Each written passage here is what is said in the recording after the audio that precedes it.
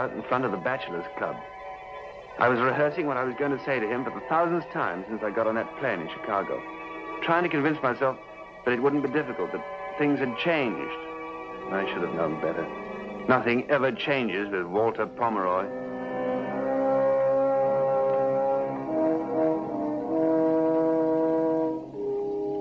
I know it's tough, but it's a formal complaint and it's got to go in.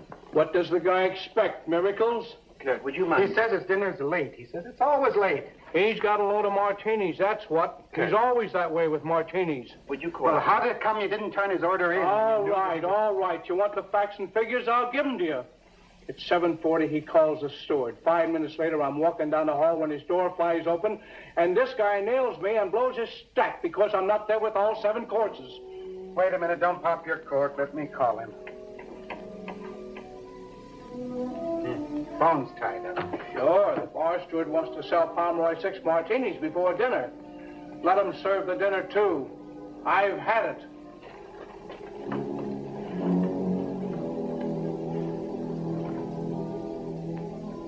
You know you want it back. You can't afford not to. oh, uh, hold it. Uh, here's my dinner. Uh, don't go away. Hello, Walter. Ted Fair. That's right. Well, what do you know? The old school tie. come in, come in. How long has it been? It must have been five years, hasn't it? I guess so. You're just in time for dinner, Theodore. The boy will be up in a minute. I'll order you something. No, thanks. I'm rather pressed for time. You mean to say you are turning down a free meal? Let's start off well, shall we, Walter? You've arrived now. You're an important man. I, I'm nobody. You can afford a patronizing posture rather becomes you. In fact, I'm, I'm counting on that. Sit down. No, I won't thank you. You don't mind if I do that. Martini? No, thank you. I'm, I'm here on business. Oh, I figured you were. Well, I've assumed my patronizing posture. Go ahead. I left that newspaper in Chicago, Walter. I quit. Oh? Quit? Yes, Not fired. Quit. that's what I said. Why? Well, you remember Dan Allenby. Yeah, I have a letter for him. He's down in Florida now buying a newspaper, a little country sheet. There's nothing much, but the place is growing fast, and we'll be able to double the circulation in six months. I want to go in with him, Walter. How much is this little country sheet going to cost you? Well, the price is 20000 I need half of it. Why did you come to me, Theodore? Because we were roommates and bosom pals for four years at dear old alma mater? I'm not begging, Walter. This is a loan. Heaven knows I, I lent you enough in the old days when I had it. I'll give you a note for it. It's a good investment for you, too, a newspaper and a growing community. Walter, I don't know what it was that set you and I at each other's throats in the, in the old days. Whatever it was, I, I give up. You win. I've got to have this loan, Walter. You're the only man I know who... Shall we drink on it? Oh, yes. Thank you, Walter. To you. Oh, no. To you. To you and your courage. It must have taken plenty of courage for you to get down on your belly and crawl like that, didn't it? Your pride's gone. You haven't even got good sense. But you've got plenty of courage. Right between the old school tie and the fraternity pin. The red badge of courage. What about that loan, Walter? Ten thousand dollars? You didn't really think I'd go for that now, did you? Ten thousand dollars? For you? You're right. I was stupid. I should have known better. Get up, Walter. Come on, get up. Walter, get up. Walter, I won't bother you anymore. Walter, wake up. Walter, I didn't hit you that hard.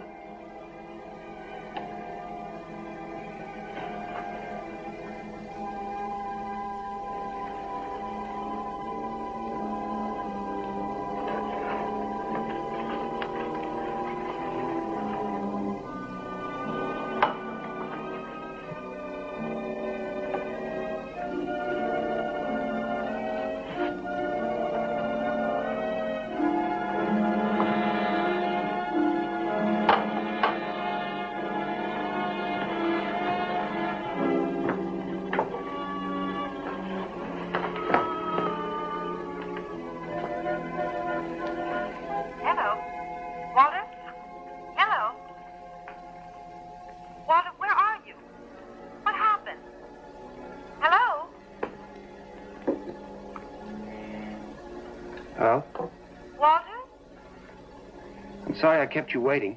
Walter, what happened? Little trouble with the waiter about dinner.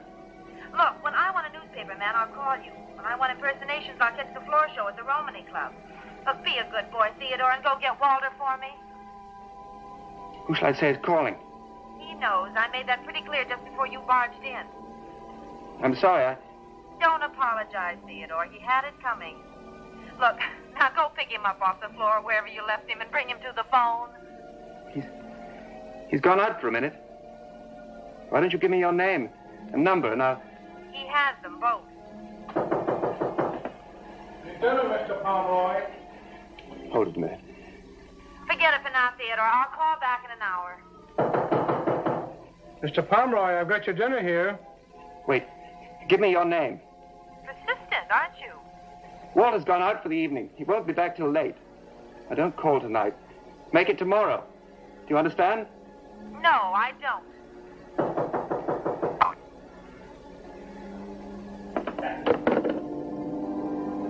If I'd thought about it, I'd have given up right there. But in a spot like that, you don't think, you move. She'd heard everything. She could identify me. She could send me to the electric chair by pointing her finger. I had to get my hands on her. I had to explain. I had to tell her what really happened. That it was an accident. He'd have her number written down somewhere in a telephone index, a memo book, or something.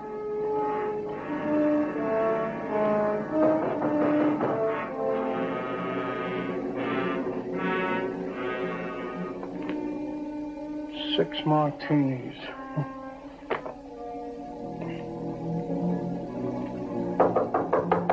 Mr. Pomeroy, I got you a steak out here, sir.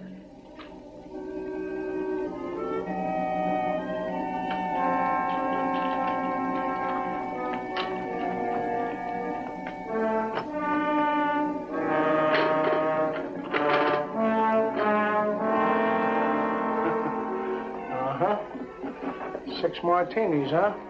You ought to know better, you dumb cluck. Mr. Pomeroy. Mr. Pomeroy.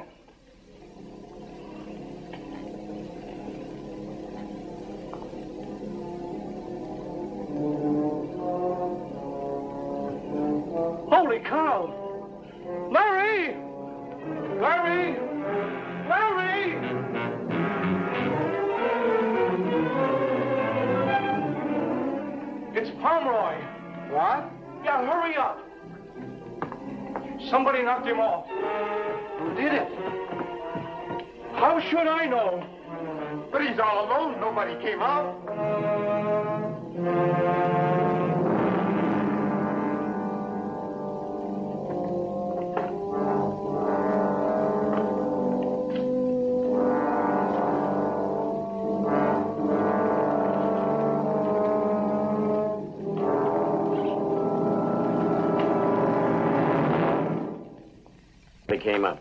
Somebody must have come up. But I would have seen him. We have a stand. You could have, but you didn't. Somebody hit him on the head. That could have been one of the other members.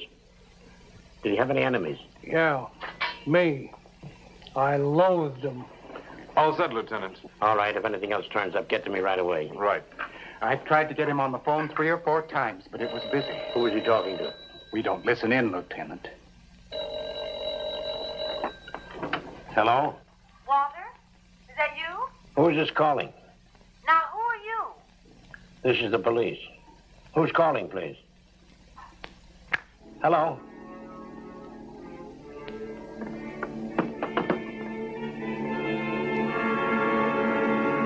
I started with the A's, a girl named Annalie at a Murray Hill number. Worked my way through the book. It's a matter of time now. The morning papers will be out around midnight. Walter was front page news. There'll be pictures, everything. And the minute she saw them, she'd know what she'd heard on that phone. No last names, no addresses. Annalie, Betty, Donna, Harriet, Linda. I had to find her. Minute by minute, the panic was rising. I had to talk to this girl. It meant my life. Hello. Hello? Who's this? Hello? Is this... Is this Maxine? That's right. Who's this? Didn't I talk to you a while ago? Well, don't tell me. It's Theodore. I'll make it Ted, will you? Oh, so we're being friendly now. How did you get my number? Oh, I called every girl in Walter's telephone index until you answered. Why? What's going on up there anyway? I want to see if the girl is as nice as the voice. Look, you can skip that. Where's Walter? Why did the police answer when I called him back? Must have gotten the wrong number. I'll tell you all about it when I see you. Why don't you save us both a lot of trouble by telling me where I can meet you? I don't think I want to. I can be pretty persistent. I can be pretty stubborn. I'm awfully sorry, Theodore, but Wait a minute. What's that music? Is that that your radio? no, no, it's not the radio. It's some kind of parade outside in the street. Band, I guess. Sounds loud enough. Uh, From where I am, they're practically treading on my feet. Look, please now, let's uh, let's part friends, shall we? I'm I'm too busy to play games. No, please. Look, you you've got to give me your last name, Maxine. Uh, some other time. No, wait, please. I'm sorry.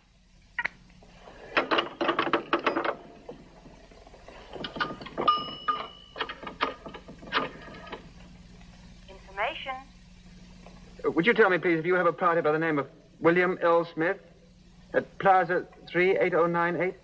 William L. Smith. Yeah, that's right. One moment, please. We have no record of a William L. Smith at Plaza 38098. Then, then who is listed at that number? I'm sorry, sir. We do not give that information. What's the address of the number? I'm sorry, sir, but I've got to have it, operator. It's, it's extremely urgent. if you'll give me your name, sir, I'll connect you with the supervisor.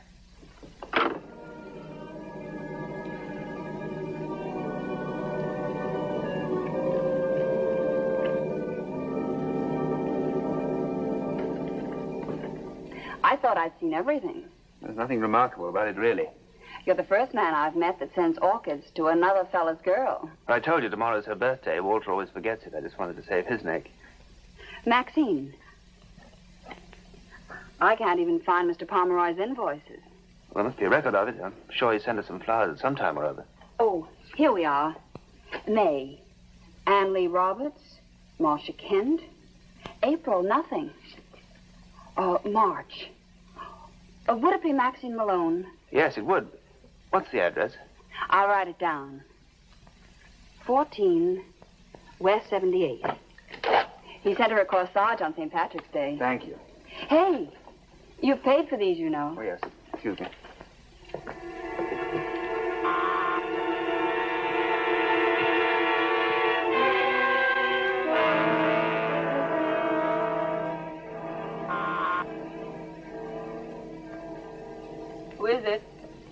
Package for Maxine Malone.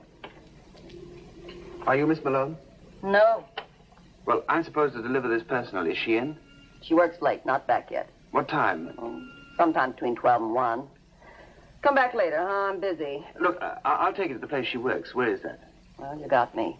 She took a new job last week somewhere on Fifth Avenue, she said. Didn't she say where? Nope. Close by, though. Most of them takes the subway to work. She walks. Crazy about the park. The park. Yeah. Well, sorry, I gotta go. Night.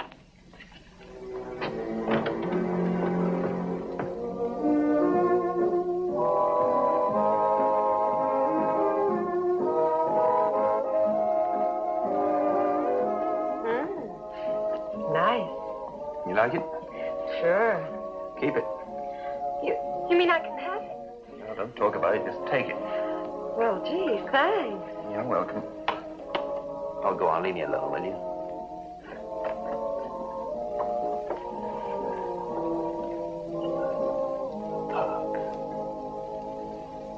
Fifth Avenue. Fifth Avenue.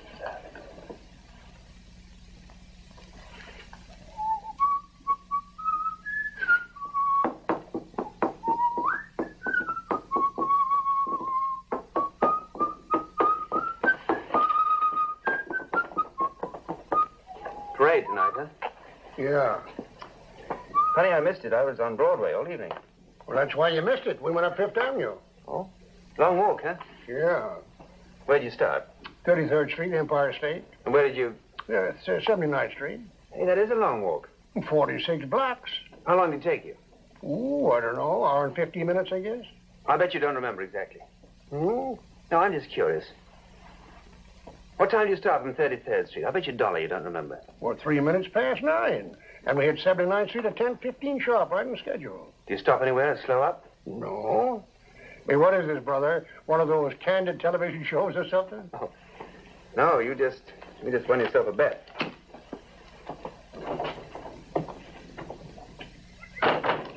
He gave me a dollar. Well, look what he gave me. 46 blocks in 72 minutes. About a minute and a half per block. The band had marched by so close they almost covered her voice on the phone at exactly 10 o'clock. I remembered looking at my watch. Somewhere near 69th Street. Probably on a ground floor. A girl who worked regularly until midnight.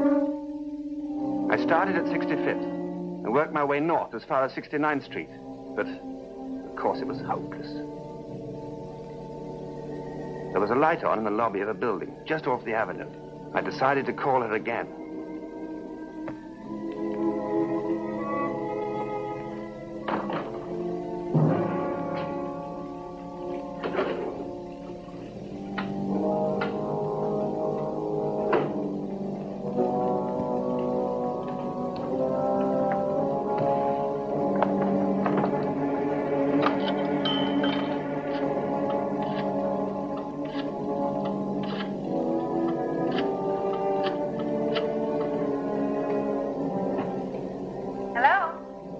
Hello? Maxine, Well, here we go again. What is it this time, Theodore? I'm still trying to wear you down. Because you like my voice? That's right. Never mind that, Theodore. Look, you've got to tell me what happened to Walter. I told you he went out. He, he can't be back yet. I don't believe you. I want to know what's going on. Look, um, just a minute, Ted. Hold on. Hello, Bob. I was just getting ready to leave. I, I wanted to talk to you.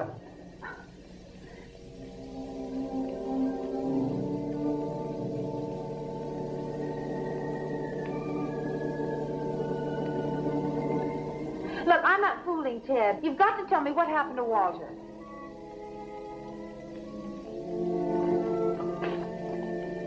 Hello. Maxine, Yes? do you have the time? It's five to twelve. Hello? Hello?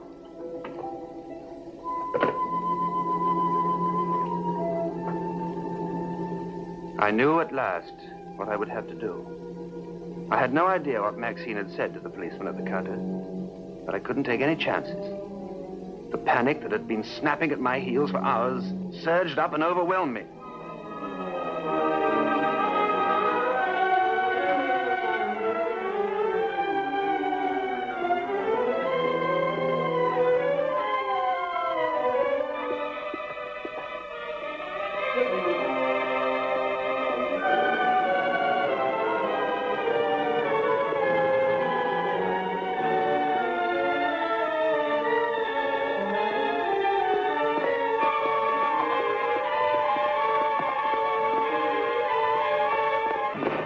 Frightened. Don't be frightened. What do you want? Now, really, there's, there's nothing to be alarmed about. After all, we've we've been together all evening. You're Ted. I told you I was the persistent type. How'd you find me? Crystal ball. No, I mean it. How did you? A little patience, a little persistence, a little ingenuity. Why did you hang up on me when I asked you about Walter? Cut off, I guess. Cut off. Look, I have an awful lot to ask you, Ted. How did you know what time I left the hotel? And also, One thing at a time. Look, let me walk you home, then we can talk. Do you live nearby? oh, on the west side. Oh, how about it? All right. So I lost my temper and socked him. Then he lost his and slammed out of the place. Why did the police answer when I called back? Police? I don't know. How did you ever get mixed up with Walter? Well, we were at college, and later on we were in business together. Oh. What was the fight about? Personal things? Something's eating you. What is it? Well, nothing's eating me. Come on. Look, I- I've got news for you. What's that? We're going the wrong way. The main path across the park's over there. Yeah, but I wouldn't want to run into a patrolman. The park's closed at night. Come on. I was pretty horrible, wasn't I? Why? Gave you an awful time. I'm Sorry. Oh, Forget it. I guess I thought you'd be like Walter. What is it? Tell me.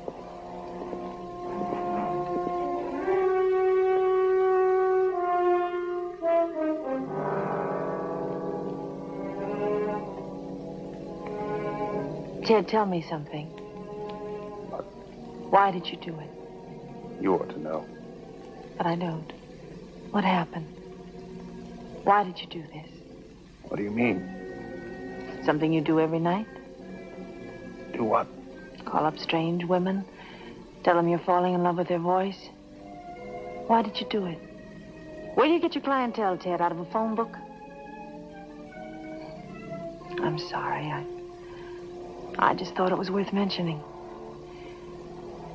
I can make it home the rest of the way by myself. Wait a minute. I mean it. Let go of uh, me. Now, shut up. Let I go. will not shut up. He's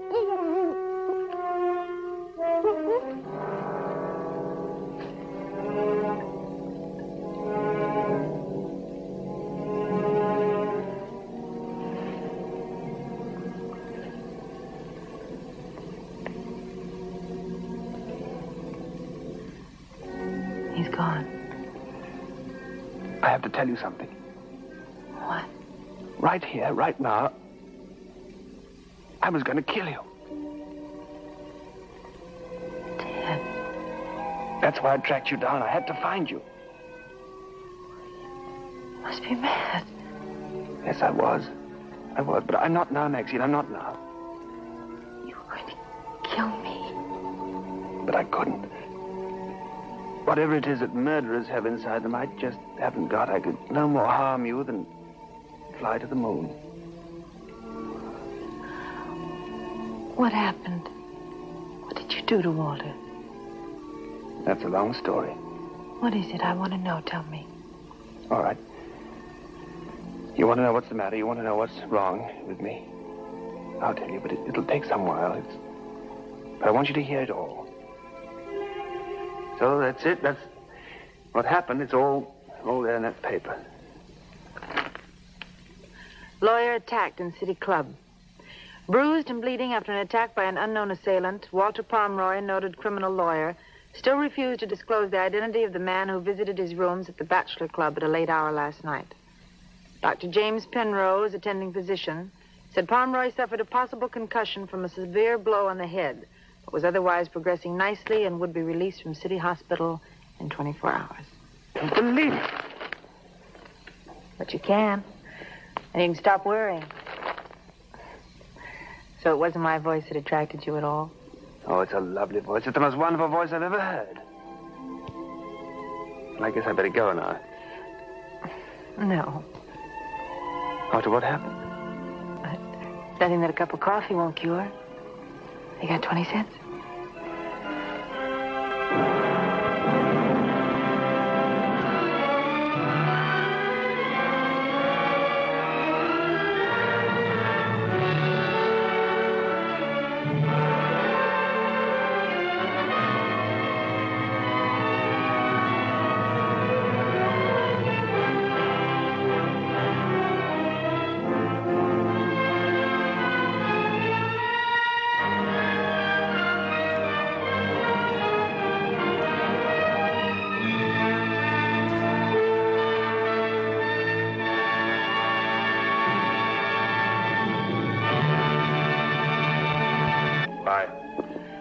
Awful time? Sorry. Forget it.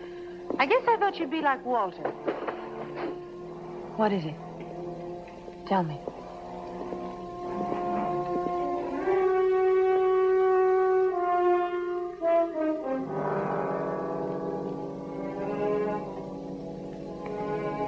Ted, tell me something. Why did you do it? You ought to know. But I don't. What happened? Why did you do this? What do you mean? Something you do every night? Do what? Call up strange women? Tell them you're falling in love with their voice? Why did you do it? Where do you get your clientele, Ted? Out of a phone book? I'm sorry. I. I just thought it was worth mentioning. I can make it home the rest of the way by myself. Wait a minute. I mean it. Let go of me. Now, shut up. Let I go. will not shut up. He's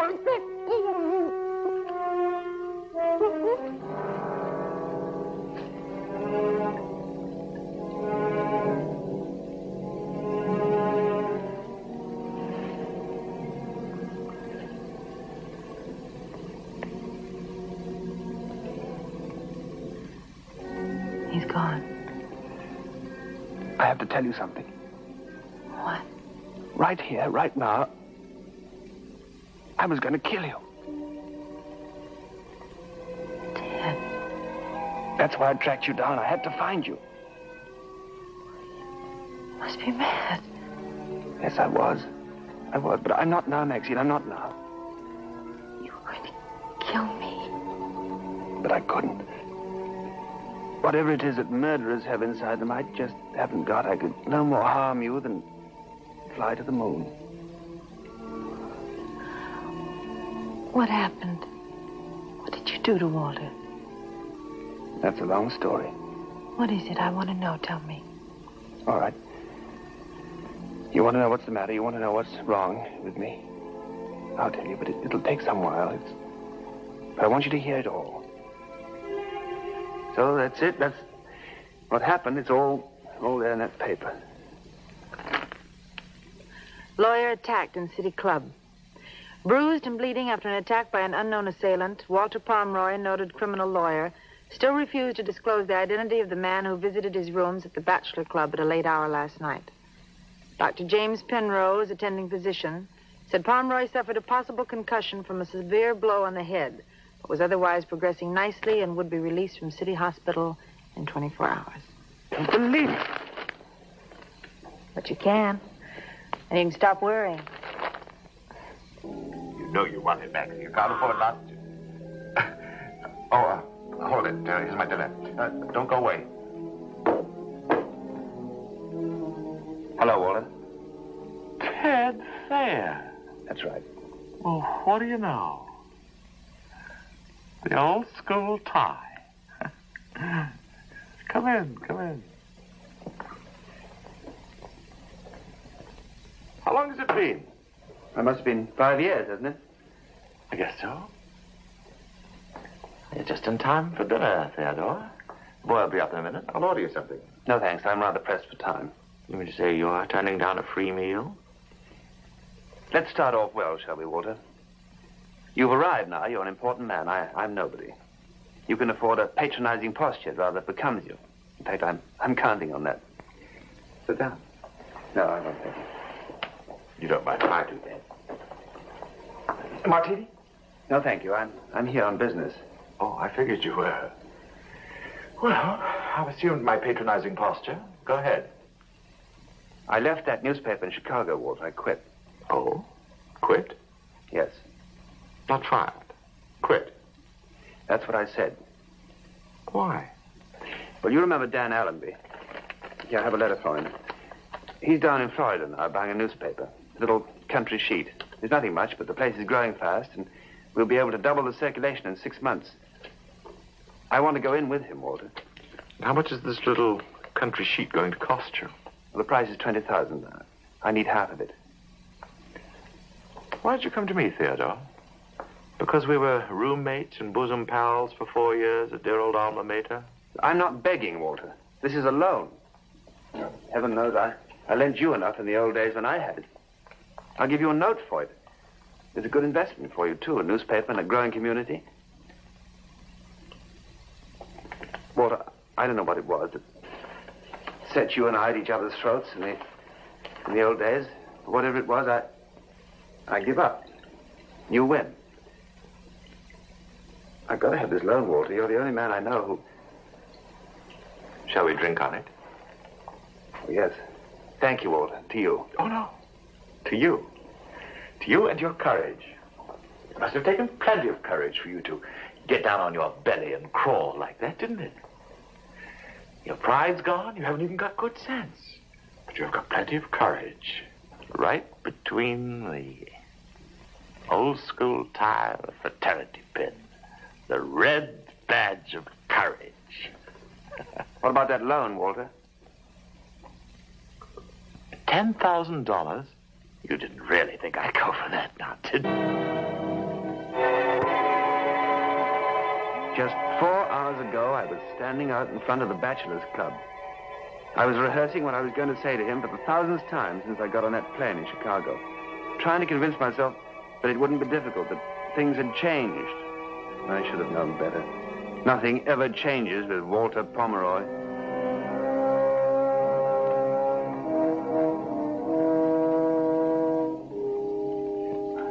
Tough, but it's a formal complaint and it's got to go in.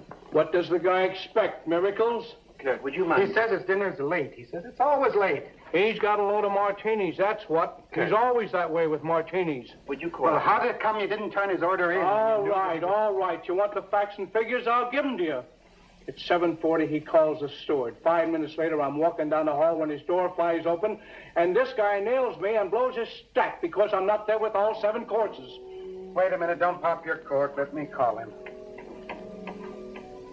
Hmm. Phone's tied up. Sure, the bar steward wants to sell Pomeroy six martinis before dinner. Let him serve the dinner, too. I've had it.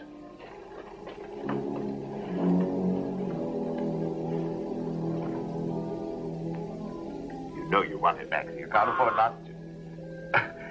oh, uh, hold it. Uh, here's my dinner. Uh, don't go away. Hello, Walter. Ted Fair. That's right. Well, what do you know? The old school tie. come in, come in. How long has it been? It must have been five years, hasn't it? I guess so. You're just in time for dinner, Theodore. Boy, I'll be up in a minute. I'll order you something. No, thanks. I'm rather pressed for time.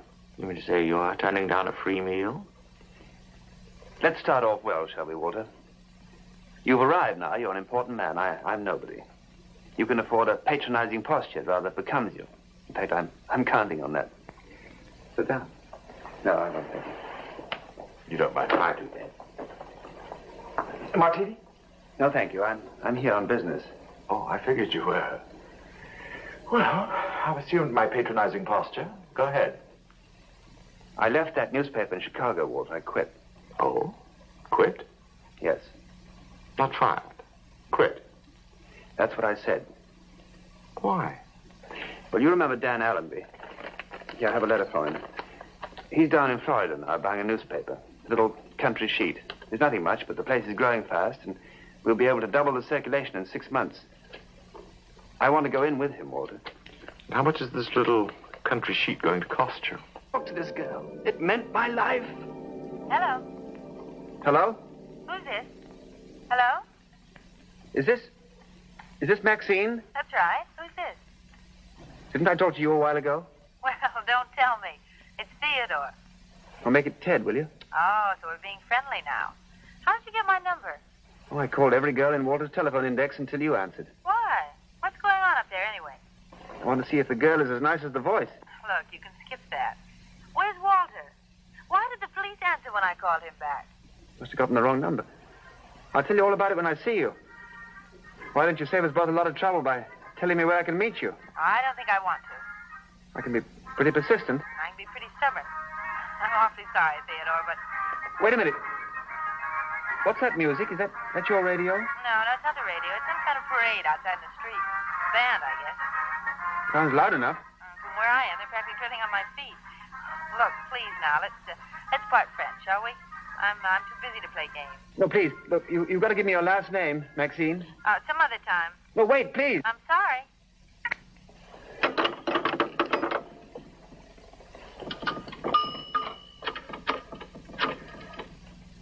Information. Uh, Would you tell me, please, if you have a party by the name of William L. Smith at Plaza 38098? William L. Yeah, that's right. One moment, please. We have no record of a William L. Smith at Plaza 38098. Then, then who is listed at that number? I'm sorry, sir. We do not give that information. What's the address of the number?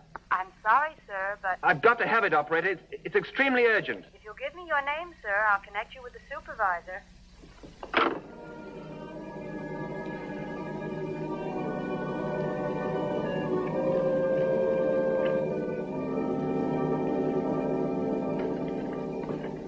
I thought I'd seen everything.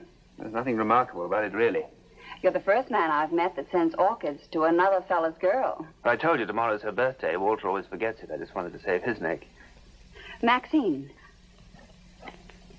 I can't even find Mr. Pomeroy's invoices. Well, there must be a record of it. I'm sure he sent us some flowers at some time or other. Oh, here we are. May. Anne Lee Roberts, Marcia Kent. April, nothing. Uh, March. Uh, would it be Maxine Malone? Yes, it would. What's the address? I'll write it down. 14 West 78. He sent her a corsage on St. Patrick's Day. Thank you. Hey, you paid for these, you know. Oh, yes. Excuse me.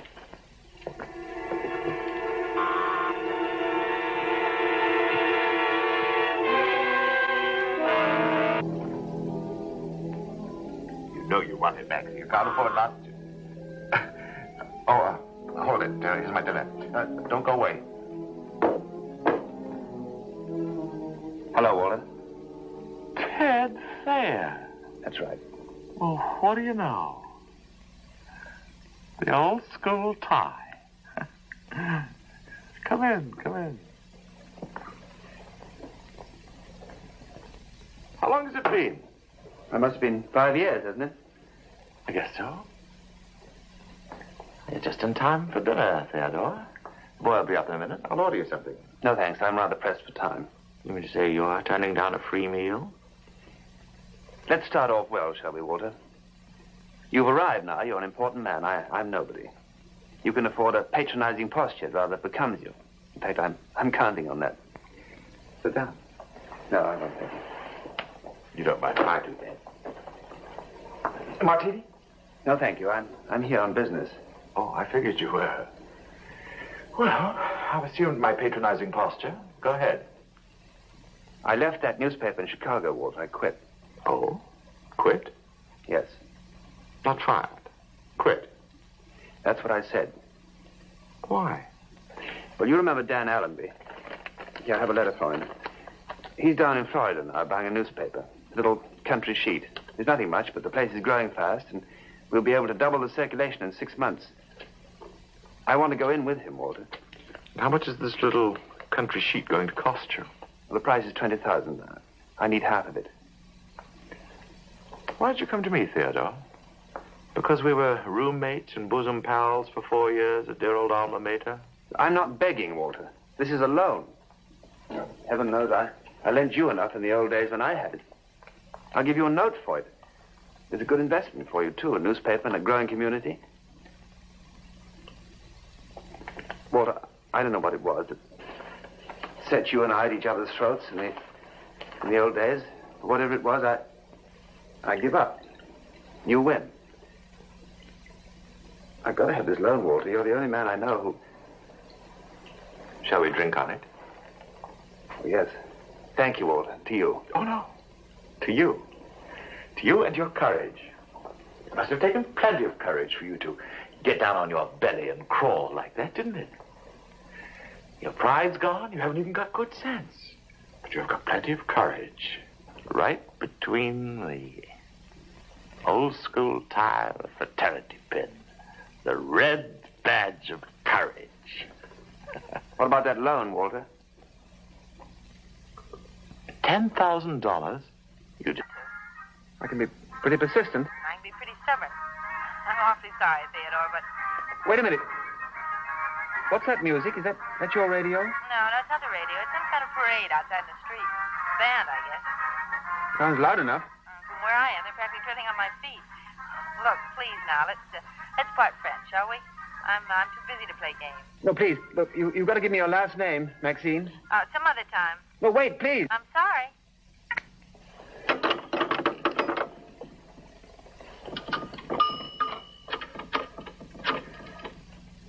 Information.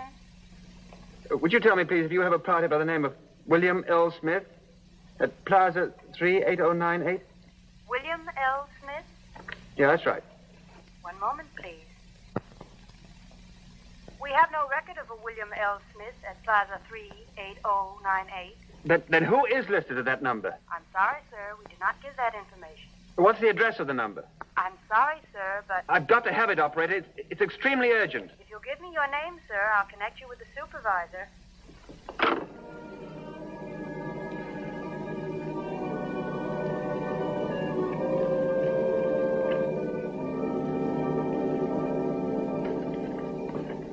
I thought I'd seen everything. There's nothing remarkable about it, really. You're the first man I've met that sends orchids to another fella's girl. I told you tomorrow's her birthday. Walter always forgets it. I just wanted to save his neck. Maxine. I can't even find Mr. Pomeroy's invoices. Well, there must be a record of it. I'm sure he sent us some flowers at some time or other. Oh, here we are. May. Anne Lee Roberts. Marcia Kent. April, nothing. Uh, March. Uh, would it be Maxine Malone? Yes, it would. What's the address? I'll write it down. 14 West 78. He sent her a corsage on St. Patrick's Day. Thank you. Hey, you paid for these, you know. Oh, yes. Excuse me.